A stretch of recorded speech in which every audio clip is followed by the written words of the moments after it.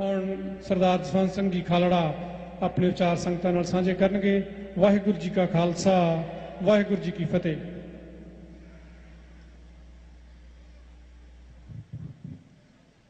ਸਤਿਗੁਰਾਂ ਦੇ ਚਰਨਾਂ ਦੀ ਨਿਗਮਾਨ ਦੇ ਗੁਰੂ ਦੇ ਪਿਆਰਿਓ, ਵਾਹਿਗੁਰੂ ਜੀ ਕਾ ਖਾਲਸਾ, ਸ੍ਰੀ ਵਾਹਿਗੁਰੂ ਜੀ ਕੀ ਫਤਿਹ। ਇੱਕ ਲਘੂ ਕਥਾ ਹੈ। ਕਿ ਜਦ ਸੂਰਜ ਪਹਿਲੀ ਵਾਰ ਅਸਤਨ ਲੱਗਾ ਸੀ, ਤਾਂ ਜਿਉਂ-ਜਿਉਂ ਉਹ ਆਪਣਾ ਪੰਧ ਮੁਕਾ ਰਿਹਾ ਸੀ, ਚਾਨਣ ਘਟ ਰਿਹਾ ਸੀ। ਚਾਨਣ ਘਟ ਰਿਹਾ ਸੀ, ਹਨੇਰੇ ਦੀ ਆਮਦ ਦੇ ਨਿਸ਼ਾਨ ਪ੍ਰਗਟ ਹੋ ਰਹੇ ਸੀ ਤੇ ਕਹਿੰਦੇ ਆ, ਲੋਕਾਂ 'ਚ ਹਾਹਾਕਾਰ ਮਚ ਰਹੀ ਸੀ। ਕਿ ਸੂਰਜ ਛਿਪ ਜਾਊਗਾ, ਹਨੇਰਾ ਪਸਰ ਜਾਊਗਾ, ਕਿਸੇ ਨੂੰ ਕੁਝ ਦਿਸੂ ਨਾ ਤੇ ਸਾਡਾ ਕੀ ਬਣੂਗਾ? ਦੁਨੀਆ ਫਿਕਰਮੰਦ ਸੀ, ਪਰ ਸੂਰਜ ਅਸਤਿਆ। ਹਨੇਰੇ ਨੇ ਆਪਣਾ ਜ਼ੋਰ ਵਿਖਾਉਣ ਲਈ ਧਰਤੀ ਤੇ ਪੈਰ ਪਾਇਆ, ਪਰ ਕਹਿੰਦੇ ਆ, ਦੂਰ ਕਿਸੇ ਝੌਂਪੜੀ ਚੋਂ ਇੱਕ ਦੀਪਕ ਨੇ ਸਿਰ ਚੁੱਕਿਆ। ਉਸ ਨੇ ਕਿਹਾ ਕਿ ਮੈਂ ਹਨੇਰੇ ਨੂੰ ਚੈਲੰਜ ਕਰਦਾ ਹੋਰ ਕੁਛ ਨਹੀਂ ਤੇ ਆਪਣੇ ਆਲੇ ਦਿਵਾਲੇ ਤਾਂ ਮੈਂ ਇਸ ਨੂੰ ਨਹੀਂ ਲਾਗੇ ਲੱਗਣ ਦਿਆਂਗਾ। ਆਪਣੇ ਆਲੇ ਦਿਵਾਲੇ ਤਾਂ ਚਾਨਣ ਕਾਇਮ ਕਰਾਂਗਾ। ਤਾਂ ਉਸ ਦੀਪਕ ਨੂੰ ਦੇਖ ਕੇ ਕਹਿੰਦੇ ਆ, ਹਰ ਝੁੱਗੀ ਝੌਂਪੜੀ 'ਚ ਇੱਕ ਦੀਪਕ ਉੱਠਿਆ। ਤੇ ਦੁਨੀਆ ਹੈਰਾਨ ਰਹਿ ਗਈ ਕਿ ਇਹਨਾਂ ਦੀਪਕਾਂ ਨੇ ਹਨੇਰੇ ਨੂੰ ਪਸਰ ਨੂੰ ਰੋਕਿਆ ਤੇ ਲੋਕ ਦੇਖ ਸਕੇ। ਤੇ ਮੈਂ ਸਮਝਦਾ ਕਿ ਅੱਜ ਜਦੋਂ ਇੱਕ ਹਨੇਰਾ ਪੂਰੇ ਜ਼ੋਰ ਦੇ ਨਾਲ ਸੱਚ ਦੇ ਉੱਤੇ ਫਤਿਹ ਪਾਉਣ ਲਈ ਲਲਕਾਰ ਰਿਹਾ ਹੈ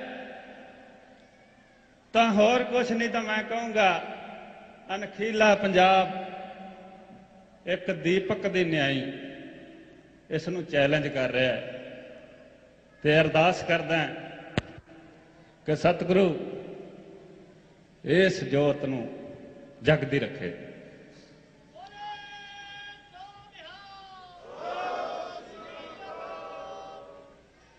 ਮੈਂ ਕਿਉਂਕਿ ਇੱਕ ਖਾਸ ਮਿਸ਼ਨ ਤੇ ਇਸ ਦੇਸ਼ 'ਚ ਆਇਆ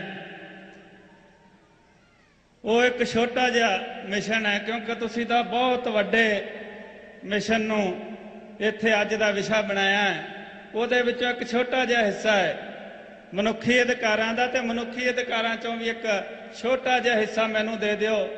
ਤਾਂ ਮੈਂ ਗੱਲ ਕਰਦਾ ਕਿ ਅੱਜ ਅਸੀਂ ਕੈਨੇਡਾ 'ਚ ਇੱਕ ਰਿਪੋਰਟ ਦੀ ਗੱਲ ਕਰਨ ਆਏ ਸਾਂ। ਉਹ ਰਿਪੋਰਟ ਜੋ ਪਿਛਲੇ 10 ਸਾਲਾਂ ਦੀ ਜ਼ਬਰ ਦੀ ਇੱਕ ਕਹਾਣੀ ਨੂੰ ਬਿਆਨ ਕਰਦੀ ਹੈ। ਤੇ ਉਸ ਰਿਪੋਰਟ ਨੂੰ ਜਦ ਅਸੀਂ ਸ਼ੁਰੂ ਕਰਨ ਲੱਗੇ ਸਾਂ, ਉਸ ਤੋਂ ਪਹਿਲਾਂ ਸਾਡੇ ਕੋਲ ਸੈਂਕੜੇ ਰਿਪੋਰਟਾਂ ਸੀਗੀਆਂ। ਪਰ ਇੱਕ ਸਵਾਲ ਸੀ ਜਿਹੜਾ ਉਹਨਾਂ ਰਿਪੋਰਟਾਂ ਚੋਂ ਸਾਨੂੰ ਕੋਈ ਜਵਾਬ ਨਹੀਂ ਸੀ ਦੇ ਰਿਹਾ। ਉਹ ਸਵਾਲ ਇਹ ਸੀ ਕਿ ਹਜ਼ਾਰਾਂ ਮਾਵਾਂ ਆਪਣੇ ਪੁੱਤਾਂ ਨੂੰ ਅਡੀਕ ਰਹੀਆਂ ਨੇ। ਚਾਹੇ ਕਈਆਂ ਨੂੰ ਪਤਾ ਹੈ ਕਿ ਪੁੱਤ ਹੁਣ ਇਸ ਦੁਨੀਆ ਤੇ ਜਰਵਾਣਿਆ ਨਹੀਂ ਛੱਡਿਆ, ਪਰ ਮਾਂ ਦਾ ਦਿਲ ਐਸਾ ਹੁੰਦਾ ਹੈ ਕਿ ਉਹ ਪੁੱਤ ਦੀ লাশ ਦੇਖ ਕੇ ਵੀ ਯਕੀਨ ਨਹੀਂ ਕਰਦੀ ਕਿ ਉਹਦਾ ਪੁੱਤ ਉਹਨੂੰ ਛੱਡ ਗਿਆ ਤੇ ਜਿੰਨਾ ਮਾਵਾਂ ਨੇ ਆਪਣੇ ਜਾਇਆਂ ਦੀਆਂ ਲਾਸ਼ਾਂ ਵੀ ਨਹੀਂ ਸੀ ਦੇਖੀਆਂ, ਉਹ ਸਾਡੇ ਤੇ ਸਵਾਲ ਕਰ ਰਹੀਆਂ ਸੀ ਕਿ ਇੰਨਾ ਤਾਂ ਪਤਾ ਕਰ ਦਿਓ ਕਿ ਸਾਡਾ ਪੁੱਤ ਹੈ ਵੀ ਕਿ ਨਹੀਂ। ਉਹਨਾਂ ਭੈਣਾਂ ਦੇ ਵੀਰ ਉਹਨਾਂ ਭੈਣਾਂ ਦੇ ਹੱਥਾਂ 'ਚ ਫੜੀਆਂ ਰੱਖੜੀਆਂ ਵੀਰਾਂ ਨੂੰ ਢੀਕ ਰਹੀਆਂ ਸੀ। ਕਈ ਬੀਬੀਆਂ ਭੈਣਾਂ ਸਾਡੀਆਂ, ਅਸੀਂ ਘਰੋਂ ਤੋਰਨ ਲਈ ਰੋਕੀ ਖੜੇ ਸਾਂ ਕਿਉਂਕਿ ਜਿਨ੍ਹਾਂ ਨਾਲ ਮੰਗੀਆਂ ਸੀ, ਜਿਨ੍ਹਾਂ ਨਾਲ ਵਿਆਹਣੀਆਂ ਸੀ, ਪੁਲਿਸ ਨੇ ਚੁੱਕਿਆ, ਸਾਨੂੰ ਪਤਾ ਨਹੀਂ। ਸਾਡੀ ਰਵਾਇਤ ਹੈ ਕਿ ਸਾਡੀ ਧੀ ਉਹਦੀ ਹੈ, ਲੇਕਿਨ ਪਤਾ ਨਹੀਂ ਉਹ ਆਊਗਾ ਕਿ ਨਹੀਂ। ਇਸ ਕਹਾਣੀ ਨੂੰ ਜਦੋਂ ਅਸੀਂ ਸ਼ੁਰੂ ਕੀਤਾ, ਤਾਂ ਪਹਿਲਾਂ ਤਾਂ ਅਸੀਂ ਇਸ ਗੱਲ ਤੇ ਅੰਕੜੇ ਇਕੱਠੇ ਕੀਤੇ ਕਿ ਕਿੰਨੇ ਪੁੱਤ, ਕਿੰਨੇ ਭਰਾ, ਕਿੰਨੇ ਪਤੀ ਤੇ ਕਿੰਨੇ ਬੱਚੇ ਲਾਪਤਾ ਨੇ। ਪਰ ਜਦੋਂ ਅਸੀਂ ਇਸ ਵਿਸ਼ੇ ਤੇ ਗੱਲ ਸ਼ੁਰੂ ਕੀਤੀ, ਤਾਂ ਅਨੇਕਾਂ ਮਾਵਾਂ, ਅਨੇਕਾਂ ਭੈਣਾਂ ਇਹ ਗੱਲ ਕਹਿਣ ਲਈ ਤਿਆਰ ਨਹੀਂ ਸੀ। ਉਹ ਕਹਿੰਦੀਆਂ ਸੀ, ਪੁੱਤ ਜੇ ਗੱਲ ਤੁਸੀਂ ਗਾਂ ਕਰ ਦਿੱਤੀ, ਸਾਡਾ ਪੁੱਤ ਜਿੰਦਾ ਹੈ ਅਜੇ, ਉਹ ਮਾਰ ਦੇਣਗੇ। ਤੁਸੀਂ ਗੱਲ ਨਾ ਕਰਿਓ, ਅਸੀਂ ਤੁਹਾਨੂੰ ਵੀ ਨਹੀਂ ਦੱਸਣਾ। ਤਾਂ ਅਸੀਂ ਇੱਕ ਰਫ ਜਿਹਾ ਐਸਟੀਮੇਟ ਦੁਨੀਆ ਦੇ ਸਾਹਮਣੇ ਰੱਖਿਆ ਕਿ ਇਕੱਲੇ ਅੰਮ੍ਰਿਤਸਰ ਜ਼ਿਲ੍ਹੇ 'ਚ 2000 ਬੱਚੇ ਲਾਪਤਾ ਹੈ। ਸਰਕਾਰ ਸਾਨੂੰ ਦੱਸੇ ਕਿ ਉਹ ਕਿੱਥੇ ਨੇ। ਸਰਕਾਰ ਚੁੱਪ ਸੀ। ਅਸੀਂ ਫਿਰ ਕੁਝ ਪਰਿਵਾਰਾਂ ਵੱਲੋਂ ਹਾਈ ਕੋਰਟ 'ਚ ਪਟੀਸ਼ਨਾਂ ਕਰਾਈਆਂ ਕਿ ਦੱਸੋ ਇਹ ਬੱਚੇ ਕਿੱਥੇ ਨੇ। ਤਾਂ ਸਰਕਾਰ ਨੇ ਹਲਫੀਆ ਬਿਆਨ ਦਿੱਤੇ ਕਿ ਅਸੀਂ ਇਹਨਾਂ ਬੱਚਿਆਂ ਨੂੰ ਜਾਣਦੇ ਹੀ ਨਹੀਂ। ਜਦੋਂ ਗੱਲ ਹੋਰ ਅੱਗੇ ਵਧੀ, ਤਾਂ ਜ਼ੁਲਮ ਦੇ ਇੰਚਾਰਜ ਨੇ ਕੇਪੀਐਸ ਗਿੱਲ ਨੇ ਅੰਮ੍ਰਿਤਸਰ ਦੇ ਵਿੱਚ ਪ੍ਰੈਸ ਕਾਨਫਰੰਸ ਕਰਕੇ ਕਿਹਾ ਕਿ ਇਹ ਮਨੁੱਖੀ ਅਧਿਕਾਰ ਵਿੰਗ ਵਾਲੇ ਮਨੁੱਖੀ ਅਧਿਕਾਰਾਂ ਬਾਰੇ ਕੁਝ ਨਹੀਂ ਕਰ ਰਹੇ। ਇਹਨਾਂ ਦਾ ਇੱਕ ਮੋਟਿਵ ਹੈ ਕਿ ਇਹ ਬੌਕਰ ਖੜੀ ਕਰੀ ਰੱਖਣਾ ਚਾਹੁੰਦੇ ਆ ਕਿ ਪੰਜਾਬ 'ਚ ਕਿਤੇ ਅਮਨ ਨਾ ਹੋ ਜਾਵੇ। ਤੇ ਇਹ ਆਈਐਸਆਈ ਦੇ ਏਜੰਟ ਨੇ ਤੇ ਸਾਡੀ ਪੁਲਿਸ ਮਸ਼ੀਨਰੀ ਨੂੰ ਡਿਸਕਰਜ ਕਰਕੇ ਦੁਬਾਰਾ ਮਿਲੀਟੈਂਸੀ ਉਭਾਰਨ ਲਈ ਸਾਜ਼ਿਸ਼ਾਂ ਕਰ ਰਹੇ ਨੇ। ਕੇਪੀਐਸ ਗਿੱਲ ਨੇ ਇੱਥੋਂ ਤੱਕ ਗਿਆ ਕਿ ਮੈਂ ਦੱਸਦਾ ਹਾਂ ਬੱਚੇ ਕਿੱਥੇ ਐ। ਉਸ ਨੇ ਕਿਹਾ ਕਿ ਇਹ ਬੱਚੇ ਯੂਰਪ ਦੇ ਵਿੱਚ, ਕੈਨੇਡਾ ਦੇ ਵਿੱਚ, ਅਮਰੀਕਾ ਦੇ ਵਿੱਚ ਦਿਹਾੜੀਆਂ ਕਰ ਰਹੇ ਨੇ। ਤੇ ਇਹ ਮਨੁੱਖੀ ਅਧਿਕਾਰ ਸੰਗਠਨ ਸਾਨੂੰ ਕਹਿ ਰਹੇ ਨੇ ਕਿ ਹਜ਼ਾਰਾਂ ਬੱਚੇ ਲਾਪਤਾ ਨੇ। ਇੱਕ ਚੈਲੰਜ ਸੀਗਾ ਸਾਨੂੰ। ਇੱਕ ਚੈਲੰਜ ਸੀ ਉਸ ਹਕੀਕਤ ਨੂੰ ਜਿਹੜੀ ਅਸੀਂ ਸਾਹਮਣੇ ਲਿਆਉਣਾ ਚਾਹੁੰਦੇ ਸਾਂ। ਤੇ ਫਿਰ ਭਰਾਓ, ਅਸੀਂ ਇਸ ਹਕੀਕਤ ਨੂੰ ਸਬੂਤਾਂ ਸਹਿਤ ਦੁਨੀਆ ਦੇ ਸਾਹਮਣੇ ਪੇਸ਼ ਕਰਨ ਲਈ ਆਪਣੇ ਆਪ ਨੂੰ ਉਸ ਮੁਹਿੰਮ 'ਚ ਪਾਇਆ ਜਿੱਥੇ ਸਾਨੂੰ ਕਈਆਂ ਖਤਰਿਆਂ ਦਾ ਵੀ ਸਾਹਮਣਾ ਕਰਨਾ ਪਿਆ। ਲੇਕਿਨ ਅਸੀਂ ਗਏ ਉੱਥੇ ਜਿੱਥੇ ਸਾਡੇ ਭਰਾ ਗਏ ਸੀ। ਅਸੀਂ ਮੜੀਆਂ 'ਚ ਗਏ। ਅਸੀਂ ਜਾ ਕੇ ਉੱਥੇ ਡਿਊਟੀਆਂ ਦਿੰਦੇ ਮੁਲਾਜ਼ਮਾਂ ਨੂੰ ਪੁੱਛਿਆ ਕਿ ਸਾਨੂੰ ਇੰਨਾ ਕੀ ਦੱਸ ਦਿਓ? ਕਿ ਇਸ ਸਮੇਂ 'ਚ ਪੁਲਿਸ ਨੇ ਤੁਹਾਨੂੰ ਕਿੰਨੀਆਂ ਕਲਾਸ਼ਾਂ ਦਿੱਤੀਆਂ ਸੀ? ਤਾਂ ਕੋਈ ਕਵੇ ਅਸੀਂ 8-10 ਰੋਜ਼ ਦੀਆਂ ਸਾੜਦੇ ਸਾਂ, ਕੋਈ ਕਹੇ ਕਿ ਕੋਈ ਹਿਸਾਬ ਹੀ ਨਹੀਂ, ਕਦੀ ਟਰੱਕ ਪੂਰਾ ਆ ਜਾਂਦਾ ਸੀ, ਕਦੀ 2-4 ਆਉਂਦੀਆਂ ਸੀ। ਜਦੋਂ ਅਸੀਂ ਕਿਹਾ ਕਿ ਸਾਨੂੰ ਤਾਂ ਹਿਸਾਬ ਚਾਹੀਦਾ ਹੈ, ਤਾਂ ਉਹਨਾਂ ਸਾਨੂੰ ਕਿਹਾ ਕਿ ਇੱਕ ਥਾਂ ਤੋਂ ਹਿਸਾਬ ਮਿਲ ਸਕਦਾ ਹੈ। ਲਾਸ਼ਾਂ ਸਾਨੂੰ ਪੁਲਿਸ ਦਿੰਦੀ ਸੀ ਤੇ ਬਾਲਣ ਸਾਨੂੰ ਮਿਊਨਿਸਪਲ ਕਮੇਟੀ ਦਿੰਦੀ ਸੀ। ਕਿਉਂਕਿ ਮਿਊਨਿਸਪਲ ਕਮੇਟੀ ਦੇ ਨਿਯਮ ਨੇ ਇੱਥੇ ਵੀ ਹੋਣਗੇ ਕਿ ਸ਼ਹਿਰ ਦੇ ਵਿੱਚ ਲਾਵਾਰਸ ਲਾਸ਼ ਕੋਈ ਵੀ ਮਿਲੇ, ਤਾਂ ਉਹਨੂੰ ਸ਼ਹਿਰ ਦੀ ਮਿਊਨਿਸਪੈਲਿਟੀ ਆਪਣੇ ਖਰਚੇ ਤੇ ਸੰਸਕਾਰ ਕਰਦੀ ਹੈ। ਤਾਂ ਫਿਰ ਗੁਰੂ ਦੇ ਪਿਆਰਿਓ, ਕੋਈ ਕੁਦਰਤੀ ਇਹ ਰਾਹ ਸਾਨੂੰ ਮਿਲ ਗਿਆ, ਜਿੱਥੇ ਜਾ ਕੇ ਅਸੀਂ ਵੇਖਿਆ ਕਿ ਸਾਡੇ ਲਾਪਤਾ ਭਰਾਵਾਂ ਦਾ ਪੂਰਾ ਹਿਸਾਬ ਲਿਖਿਆ ਪਿਆ ਸੀ। ਜਦੋਂ ਅਸੀਂ ਉੱਥੇ ਜਾ ਕੇ ਦੇਖਿਆ,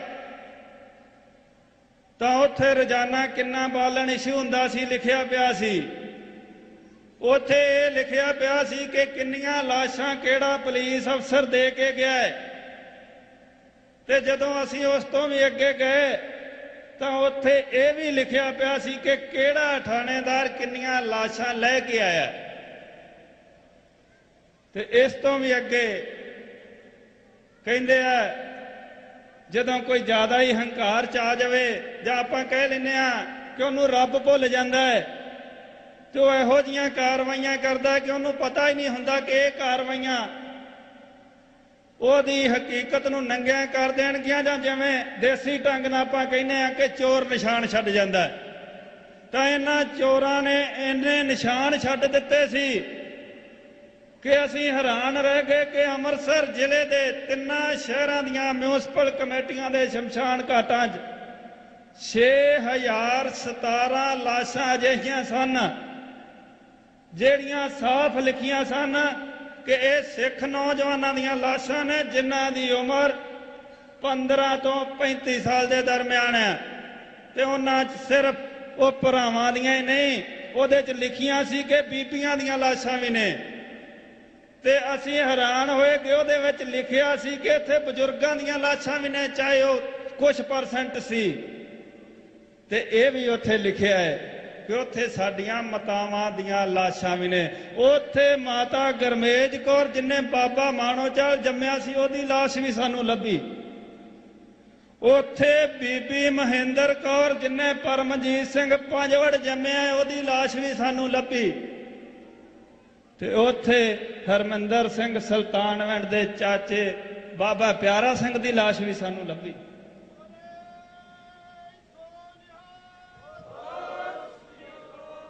ਤੇ ਭਰਾਓ, ਜਦੋਂ ਸਾਨੂੰ ਇਹ ਸਾਰੀ ਹਕੀਕਤ ਮਿਲੀ, ਤਾਂ ਅਸੀਂ ਉਸ ਦੇਸ਼ ਦੀ ਉੱਚ ਅਦਾਲਤ 'ਚ ਗਏ। ਅਸੀਂ ਪੰਜਾਬ ਤੇ ਹਰਿਆਣਾ ਹਾਈ ਕੋਰਟ ਦਾ ਦਰਵਾਜ਼ਾ ਖੜਕਾਇਆ ਕਿ ਜਰਵਾਣਿਓ ਘੱਟੋ ਘੱਟ ਸਾਨੂੰ ਇਹ ਡਿਟੇਲ ਤਾਂ ਦੇ ਦਿਓ ਕਿ ਕਿਹੜੀ ਲਾਸ਼ ਕਿਹਦੀ ਹੈ, ਤਾਂ ਕਿ ਅਸੀਂ ਹਰੇਕ ਮਾਂ ਭੈਣ ਨੂੰ ਦੱਸ ਸਕੀਏ, ਹਰੇਕ ਬਾਪ ਨੂੰ ਦੱਸ ਸਕੀਏ ਕਿ ਉਹ ਆਪਣੇ ਦਿਲ ਦੇ ਵਿੱਚ ਜੋ ਧਾਰੀ ਅਰਦਾਸ ਹੈ ਉਹ ਸਤਿਗੁਰਾਂ ਪਾਸ ਕਰ ਸਕੇ ਕਿ ਸਤਿਗੁਰੂ, ਮੇਰੇ ਪੁੱਤ ਨੂੰ ਆਪਣੇ ਚਰਨਾਂ 'ਚ ਨਿਵਾਸ ਬਖਸ਼ੀਏ, ਆਪਣੀ ਰਵਾਇਤ ਹੈ। ਅਸੀਂ ਪੁੱਤ ਮੰਗਦੇ ਆਂ। ਸਤਿਗੁਰੂ ਪਾਸ ਅਰਦਾਸ ਕਰਕੇ ਅਸੀਂ ਆਪਣੇ ਘਰ ਦੇ ਜੀਆਂ ਨੂੰ ਤੋਰਦੇ ਆਂ। ਸਤਿਗੁਰ ਪਾਸ ਅਰਦਾਸ ਕਰਦੇ ਆਂ ਕਿ ਚਰਨਾਂ ਨਾਲ ਲਾ ਲੈ। ਤਾਂ ਅਸੀਂ ਜਦ ਇਹ ਮੰਗ ਕੀਤੀ ਕਿ ਕੁਛ ਨਹੀਂ ਚਾਹੀਦਾ ਸਾਨੂੰ ਸਾਨੂੰ ਘੱਟੋ ਘੱਟ ਇਹ ਦੱਸ ਦਿਓ ਕਿ ਕਿਹੜੇ ਘਰ ਦਾ ਹੀਰਾ, ਕਿਹੜੀ ਸ਼ਮਸ਼ਾਨ ਘਾਟ 'ਚ ਤੁਸੀਂ ਕਦੋਂ ਸਾੜਿਆ ਸੀ? ਕਿਉਂਕਿ ਕਾਨੂੰਨ ਕਹਿੰਦਾ ਲਾਵਾਰਸ ਲਾਸ਼ ਦੀਆਂ ਫੋਟੋਆਂ ਰੱਖੀਆਂ ਜਾਂਦੀਆਂ ਹੈ। ਕਾਨੂੰਨ ਕਹਿੰਦਾ ਲਾਵਾਰਸ ਲਾਸ਼ ਦੇ ਕੱਪੜੇ ਉਦੋਂ ਤੱਕ ਸਾਂਭ ਕੇ ਰੱਖੇ ਜਾਂਦੇ ਆ, ਜਦ ਤੱਕ ਉਹਨਾਂ ਦਾ ਵਾਰਸ ਕਲੇਮ ਨਾ ਕਰੇ। ਪਰ ਉਹ ਦੇਸ਼ ਜੋ ਸਭ ਤੋਂ ਵੱਡੀ ਜਮਹੂਰੀਅਤ ਤੇ ਨਿਆਂ ਪਸੰਦ ਕਹਾਉਂਦਾ ਹੈ ਉਸ ਦੇ ਹਾਈ ਕੋਰਟ ਨੇ ਸਾਨੂੰ ਕਿਹਾ ਕਿ ਇੰਜ ਕਰੋ, ਇਹ ਪਬਲਿਕ ਇੰਟਰਸਟ ਲਿਟੀਗੇਸ਼ਨ ਤਾਂ ਬਣਦੀ ਨਹੀਂ। ਇਹਦੇ ਨਾਲ ਬਹੁਤ ਵੱਡਾ ਮਸਲਾ ਖੜਾ ਹੁੰਦਾ ਹੈ। ਤੁਸੀਂ ਹਰੇਕ ਪਰਿਵਾਰ ਨੂੰ ਜਿਨ੍ਹਾਂ ਦੀ লাশ ਹੈ, ਭੇਜ ਦਿਓ, ਅਸੀਂ ਉਹਨਾਂ ਨੂੰ ਜਾਣਕਾਰੀ ਦੇਵਾਂਗੇ ਕਾਨੂੰਨ ਨਾਲ ਮਖੌਲ ਕੀਤਾ ਗਿਆ ਹੈ, ਇੱਕ ਕੌਮ ਨਾਲ ਮਖੌਲ ਕੀਤਾ ਗਿਆ ਹੈ। ਤੇ ਉਹਨਾਂ ਲੋਕਾਂ ਨਾਲ ਮਖੌਲ ਕੀਤਾ ਗਿਆ ਹੈ, ਜਿਹੜੇ ਹੋਰ ਕੁਝ ਨਹੀਂ ਮੰਗਦੇ, ਸਿਰਫ ਡੈਥ ਸਰਟੀਫਿਕੇਟ ਹੀ ਮੰਗਦੇ ਸੀ। ਕਿਉਂਕਿ ਅਸੀਂ ਹਾਈ ਕੋਰਟ ਤੋਂ ਮੰਗਿਆ ਕਿ ਸਾਨੂੰ ਸਾਡੇ ਨਾਲ ਸੰਬੰਧਿਤ ਵੀਰ ਭਰਾ ਦੀ লাশ ਦੀ ਜਾਣਕਾਰੀ ਚਾਹੀਦੀ ਹੈ। ਉਹ ਸਾਨੂੰ ਕਹਿ ਰਿਹਾ ਕਿ ਜਿਹਦੀ ਜਾਣਕਾਰੀ ਤੁਹਾਨੂੰ ਹੈਗੀ ਆ, ਉਹਦੇ ਬਾਰੇ ਆ ਜਾਓ। ਇਹ ਪੰਜਾਬ ਤੇ ਹਰਿਆਣਾ ਹਾਈ ਕੋਰਟ ਨੇ ਸਾਨੂੰ ਜਵਾਬ ਦਿੱਤਾ ਹੈ। ਚਾਹੇ ਅਸੀਂ ਹੁਣ ਸੁਪਰੀਮ ਕੋਰਟ 'ਚ ਜਾਵਾਂਗੇ, ਚਾਹੇ ਅਸੀਂ ਹਰ ਕਾਨੂੰਨੀ ਕਾਰਵਾਈ ਕਰਾਂਗੇ, ਪਰ ਸਭ ਤੋਂ ਵੱਡੀ ਕਚਹਿਰੀ ਲੋਕਾਂ ਦੀ ਕਚਹਿਰੀ ਹੁੰਦੀ ਹੈ ਤੇ ਅਸੀਂ ਲੋਕਾਂ ਦੀ ਕਚਹਿਰੀ 'ਚ ਦੁਨੀਆ ਪੱਧਰ ਤੇ ਜਾਣਾ ਚਾਹੁੰਦੇ ਕਿ ਐ ਦੁਨੀਆ ਵਾਲਿਓ, ਤੁਸੀਂ ਸਾਨੂੰ ਅੱਤਵਾਦੀ ਆਖਿਆ, ਤੁਸੀਂ ਸਾਨੂੰ ਫਿਰਕਾ ਪ੍ਰਸਤ ਆਖਿਆ, ਪਰ ਜਿਨ੍ਹਾਂ ਨੂੰ ਤੁਸੀਂ ਅਮਨ ਦੇ ਮਸੀਹੇ ਆਖਿਆ ਸੀ ਜਿਨ੍ਹਾਂ ਨੂੰ ਤੁਸੀਂ ਜਮਹੂਰੀਅਤ ਦੇ ਪੈਗੰਬਰ ਕਿਹਾ ਸੀ, ਉਹਨਾਂ ਦੀ ਅਸਲੀਅਤ ਜਾਣੋ ਤੇ ਸਾਨੂੰ ਦੱਸੋ ਕਿ ਆਖਰ ਅੱਤਵਾਦੀ ਕੌਣ ਹੈ ਤੇ ਸਤਵਾਦੀ ਕੌਣ ਹੈ। ਕਿਉਂਕਿ ਅਸੀਂ ਇਹ ਬਹੁਤ ਕਹਿ ਸਕਦੇ ਹਾਂ ਕਿ ਸਾਡੇ ਤੇ ਜ਼ੁਲਮ ਬਹੁਤ ਹੋਇਆ, ਲੇਕਿਨ ਜ਼ੁਲਮ ਦਾ ਪੂਰਾ ਹਿਸਾਬ ਰੱਖਣ ਦਾ ਹਾਲੇ ਸਾਨੂੰ ਅਭਿਆਸ ਨਹੀਂ ਹੋਇਆ।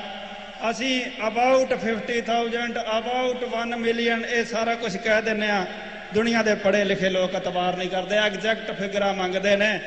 ਤਾਂ ਉਹਦੇ ਵਾਸਤੇ ਅਸੀਂ ਇਹ ਵੀ ਕਹਿੰਨੇ ਆ ਕਿ ਆਓ ਤੁਸੀਂ ਸਾਰੇ ਇਸ ਮਸਲੇ ਦੇ ਉੱਤੇ, ਕਿਉਂਕਿ ਇਹ ਮਸਲਾ ਉਹਨਾਂ ਪਰਿਵਾਰਾਂ ਦਾ ਮਸਲਾ ਨਹੀਂ, ਇੱਕ ਕੌਮ ਦਾ ਮਸਲਾ ਹੈ। ਇਹ ਦੁਨੀਆ ਦੀ ਮਾਨਵਤਾ ਦਾ ਮਸਲਾ ਹੈ। ਤੁਸੀਂ ਸਾਰੇ ਇਸ ਮਸਲੇ ਨੂੰ ਜਿੱਥੇ ਵੀ ਹੈ, ਜਿਸ ਵੀ ਢੰਗ ਨਾਲ ਹੈ, ਉਸ ਢੰਗ ਦੇ ਨਾਲ ਪੇਸ਼ ਕਰੋ। ਤੇ ਉਸ ਹਕੂਮਤ ਨੂੰ, ਉਸ ਮਸ਼ੀਨਰੀ ਨੂੰ, ਉਸ ਨਿਆਂ ਪ੍ਰਣਾਲੀ ਨੂੰ ਲਾਂਤਾ ਪਾਓ ਤੇ ਲੋਕਾਂ ਨੂੰ ਅਸਲੀਅਤ ਦੱਸੋ, ਤਾਂ ਤੁਸੀਂ ਸਾਡੀ ਇਸ ਕੰਮ 'ਚ ਜ਼ਰੂਰ ਮਦਦ ਕਰਿਓ। ਮੇਰੇ ਭਰਾਓ, ਗੁਰੂ ਪਾਸ ਅਰਦਾਸ ਕਰੋ ਕਿ ਸੱਚੀਆਂ ਅਸੀਂ ਅਣਖੀਲੇ ਬਣੇ ਰਹੀਏ।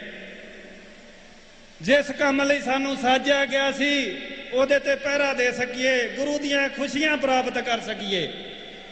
ਗੁਰੂ ਤੋਂ ਸਭ ਕੁਝ ਮੰਗਦੇ ਆ। ਗੁਰੂ ਤੋਂ ਇੱਕ ਦਾਤ ਅਸੀਂ ਮੰਗਦੇ ਨਹੀਂ ਡਰਦੇ। ਗੁਰੂ ਕੋਲ ਬੜੀਆਂ ਦਾਤਾਂ ਨੇ, ਪਰ ਸਭ ਤੋਂ ਵੱਡੀ ਦਾਤ ਸਤਿਗੁਰਾਂ ਕੋਲ ਕਿਹੜੀ ਹੈ? ਸਭ ਤੋਂ ਵੱਡੀ ਦਾਤ ਦੁੱਧ ਦੀ ਨਹੀਂਗੀ ਪੁੱਤ ਦੀ ਨਹੀਂਗੀ ਤੇ ਗੁਰੂ ਹੁਣ ਗੱਦੀ ਵੀ ਕਿਸੇ ਨੂੰ ਨਹੀਂ ਦਿੰਦੇ। ਕਿਸੇ ਸਾਧ ਨੂੰ ਹੁਣ ਉਹ ਗੁਰੂ ਨਹੀਂ ਬਣਾ ਸਕਦੇ। ਗੁਰੂ ਨੇ ਜਦ ਗੁਰਗੱਦੀ ਸ੍ਰੀ ਗੁਰੂ ਗ੍ਰੰਥ ਸਾਹਿਬ ਜੀ ਨੂੰ ਦੇ ਦਿੱਤੀ ਸੀ, ਤਾਂ ਉਹਦੇ ਕੋਲ ਇੱਕ ਵਿਸ਼ੇਸ਼ ਦਾਤ ਸੀ, ਜਿਹੜੀ ਜਿਹੜਾ ਮਰਜ਼ੀ ਸਿੱਖ ਲੈ ਸਕਦਾ ਹੈ। ਤੇ ਉਸ ਵਿਸ਼ੇਸ਼ ਦਾਤ ਨੂੰ ਗੁਰਾਂ ਦੇ ਤੋਂ ਬਾਅਦ ਸਿੱਖਾਂ ਨੇ ਇੰਨਾ ਸਤਿਕਾਰ ਕੀਤਾ ਹੈ ਤੇ ਉਹ ਵਿਸ਼ੇਸ਼ ਦਾਤ ਹੈ, ਗੁਰੂ ਦੇ ਕੋਲ ਹੈ। ਉਹ ਹੈ ਸ਼ਹਾਦਤ ਦੀ ਦਾਤ। ਜਿਨ੍ਹਾਂ ਨੂੰ ਇਹ ਦਾਤ ਮਿਲਦੀ ਹੈ, ਉਹ ਗੁਰੂ ਤਾਂ ਨਹੀਂ ਬਣਦੇ, ਲੇਕਿਨ ਗੁਰੂ ਤੋਂ ਬਾਅਦ ਸਾਡੀ ਕੌਮ ਦੇ ਸਭ ਤੋਂ ਵੱਧ ਸਤਿਕਾਰਤ ਲੋਕ ਬਣਦੇ ਨੇ। ਤੇ ਮੈਂ ਇਹ ਆਸ ਕਰਦਾ ਹਾਂ, ਮੈਂ ਕੋਈ ਸਿਆਸੀ ਲੀਡਰ ਤਾਂ ਹੈ ਨਹੀਂ ਕਿ ਕੋਈ ਸਿਆਸੀ ਲਾਈਨ ਜਾਂ ਸਿਆਸੀ ਪੈਂਤੜਾ ਕਰ ਸਕਾਂ। ਮਨੁੱਖੀ ਅਧਿਕਾਰਾਂ ਦੇ ਪਲੇਟਫਾਰਮ ਤੋਂ ਮੈਂ ਤੁਹਾਨੂੰ ਜ਼ਰੂਰ ਕਹੂੰਗਾ, ਖਾਲਸਾ ਮਨੁੱਖੀ ਅਧਿਕਾਰਾਂ ਦੀ ਰਾਖੀ ਕਰ ਲਈ ਦੁਨੀਆ ਦੇ ਮਨੁੱਖੀ ਅਧਿਕਾਰਾਂ ਦੀ ਰਾਖੀ ਕਰ ਲਈ ਸਾਜਿਆ ਗਿਆ ਸੀ। ਤੇ ਜੇ ਆਪਣੇ ਮਨੁੱਖੀ ਅਧਿਕਾਰ ਹੀ ਨਾ ਬਚਾ ਸਕਿਓ, ਤਾਂ ਦੁਨੀਆ 'ਚ ਤੁਸੀਂ ਖਾਲਸੇ ਦੀ ਡੈਫੀਨੇਸ਼ਨ ਕੁਝ ਵੀ ਨਹੀਂ ਦੇ ਸਕੋਗੇ। ਉਥੇ ਤੁਹਾਨੂੰ ਸਾਰਿਆਂ ਨੂੰ ਬੇਨਤੀ ਕਰਦਾ ਹਾਂ ਕਿ ਸਤਗੁਰ ਤੋਂ ਲੈਣਾ ਹੀ ਨਾ ਸਿੱਖੋ। ਸਤਗੁਰ ਤੋਂ ਕੁਝ ਜੋ ਤੁਹਾਨੂੰ ਹਦਾਇਤ ਹੋਈ ਆ, ਉਹ ਵੀ ਪੂਰੀ ਕਰਨੀ ਸਿੱਖੋ। ਸਾਰਾ ਕੁਝ ਇਹਦੇ ਵਿੱਚ ਆ ਜਾਊਗਾ। ਸਾਰੀਆਂ ਖੁਸ਼ੀਆਂ ਪ੍ਰਾਪਤ ਹੋਣਗੀਆਂ। ਇੰਨਾ ਹੀ ਕਹਿੰਦਾ ਹੋਇਆ, ਆਓ ਫਤਿਹ ਸਾਂਝੀ ਕਰੀਏ। ਵਾਹਿਗੁਰੂ ਜੀ ਕਾ ਖਾਲਸਾ। ਸ੍ਰੀ ਵਾਹਿਗੁਰੂ ਜੀ ਕੀ ਫਤਿਹ। ਤਾਂ ਉਸ ਦੀਪਕ ਨੂੰ ਦੇਖ ਕੇ ਕਹਿੰਦੇ ਆ, ਹਰ ਝੁੱਗੀ ਝੌਂਪੜੀ 'ਚ ਇੱਕ ਦੀਪਕ ਉੱਠਿਆ। ਤੇ ਦੁਨੀਆ ਹੈਰਾਨ ਰਹਿ ਗਈ। ਕਿ ਇਹਨਾਂ ਦੀਪਕਾਂ ਨੇ ਹਨੇਰੇ ਨੂੰ ਪਸਰ ਨੂੰ ਰੋਕਿਆ ਤੇ ਲੋਕ ਦੇਖ ਸਕੇ। ਤੇ ਮੈਂ ਸਮਝਦਾ ਕਿ ਅੱਜ ਜਦੋਂ ਧਰਤੀ ਤੇ ਪੈਰ ਪਾਇਆ, ਪਰ ਕਹਿੰਦੇ ਆ, ਦੂਰ ਕਿਸੇ ਝੌਂਪੜੀ ਚੋਂ ਇੱਕ ਦੀਪਕ ਨੇ ਸਿਰ ਚੁੱਕਿਆ। ਉਸ ਨੇ ਕਿਹਾ ਕਿ ਮੈਂ ਹਨੇਰੇ ਨੂੰ ਚੈਲੰਜ ਕਰਦਾ ਹੋਰ ਕੁਛ ਨਹੀਂ ਤੇ ਆਪਣੇ ਆਲੇ ਦਿਵਾਲੇ ਤਾਂ ਮੈਂ ਇਸ ਨੂੰ ਨਹੀਂ ਲਾਗੇ ਲੱਗਣ ਦਿਆਂਗਾ। ਆਪਣੇ ਆਲੇ ਦਿਵਾਲੇ ਤਾਂ ਚਾਨਣ ਕਾਇਮ ਕਰਾਂਗਾ। ਹੋ ਰਿਹਾ ਸੀ। ਤੇ ਕਹਿੰਦੇ ਆ, ਲੋਕਾਂ 'ਚ ਹਾਹਾਕਾਰ ਮਚ ਰਹੀ ਸੀ ਕਿ ਸੂਰਜ ਛਿਪ ਜਾਊਗਾ, ਹਨੇਰਾ ਪਸਰ ਜਾਊਗਾ, ਕਿਸੇ ਨੂੰ ਕੁਝ ਦਿਸੂ ਨਾ ਤੇ ਸਾਡਾ ਕੀ ਬਣੂਗਾ? ਦੁਨੀਆ ਫਿਕਰਮੰਦ ਸੀ, ਪਰ ਸੂਰਜ ਅਸਤਿਆ। ਹਨੇਰੇ ਨੇ ਆਪਣਾ ਜ਼ੋਰ ਵਿਖਾਉਣ ਲਈ ਇੱਕ ਲਘੂ ਕਥਾ ਹੈ ਕਿ ਜਦ ਸੂਰਜ ਪਹਿਲੀ ਵਾਰ ਅਸਤਨ ਲੱਗਾ ਸੀ, ਤਾਂ ਜਿਉਂ-ਜਿਉਂ ਉਹ ਆਪਣਾ ਪੰਧ ਮੁਕਾ ਰਿਹਾ ਸੀ, ਚਾਨਣ ਘਟ ਰਿਹਾ ਸੀ। ਚਾਨਣ ਘਟ ਰਿਹਾ ਸੀ, ਹਨੇਰੇ ਦੀ ਆਮਦ ਦੇ ਨਿਸ਼ਾਨ ਪ੍ਰਗਟ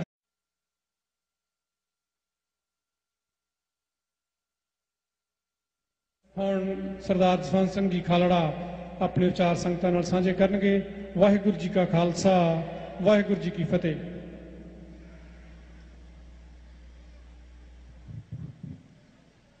ਸਤਿਗੁਰਾਂ ਦੇ ਚਰਨਾਂ ਦੀ ਨਿਗ ਦੇ ਗੁਰੂ ਦੇ ਪਿਆਰਿਓ, ਵਾਹਿਗੁਰੂ ਜੀ ਕਾ ਖਾਲਸਾ। ਸ੍ਰੀ ਵਾਹਿਗੁਰੂ ਜੀ ਕੀ ਫਤਿਹ।